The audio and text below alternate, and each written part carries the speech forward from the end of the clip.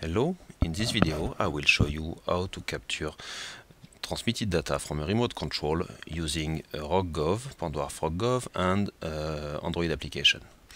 So we are connected um, to the RockGov and we will go to the spectrum analyzer fragment and determine what is the frequency used by this remote control. Simply press start and press the button the highest peak is already selected and you just have to go to the TX page to capture some data. So we can either we will clear the data. We can either um, let the oversampling factor to 30,000 or make a real measurement. So let's make a real measurement of the data rate. Data rate has been computed to 2400. Okay, I will uh, increase the number of requested bytes and increase the frame length. Okay, to have a better capture and then press capture. We are receiving data. I will transmit.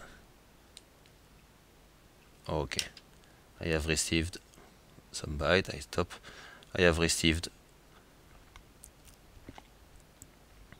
256 bytes which correspond to a code word. And then I will analyze it. Okay it corresponds to mhouse counter 51 and counter 52 53 etc are generated. And you can transmit not the 51 because it has already been used but the 52 you can notice that the red LED is on when you transmit? Okay. Each time you make a transmission, the previous rolling code are invalidated.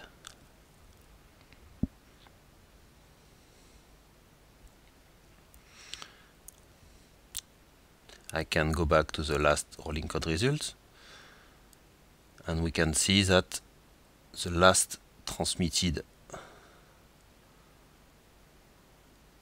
rolling code is 57 okay I will clear everything. And this time I don't want to measure the exact data rate. I will use the oversampling factor.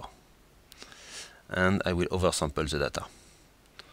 So let's capture data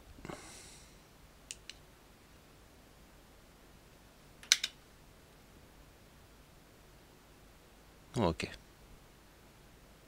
so the data doesn't look good. I will make another capture. Okay I have longer data now. Lots of zero. Okay lots of zero because I oversampled but at the beginning I have a lot of data. And I will analyze this data. Oversampled and I have the same results. The oversampled data has been reduced and also allows to compute the next rolling code 53, 54, etc. You can also